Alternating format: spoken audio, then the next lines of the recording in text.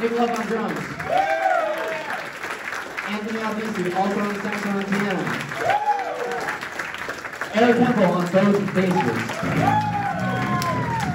Thank you guys so much for coming out. I'm Sal. I hope you enjoyed the show.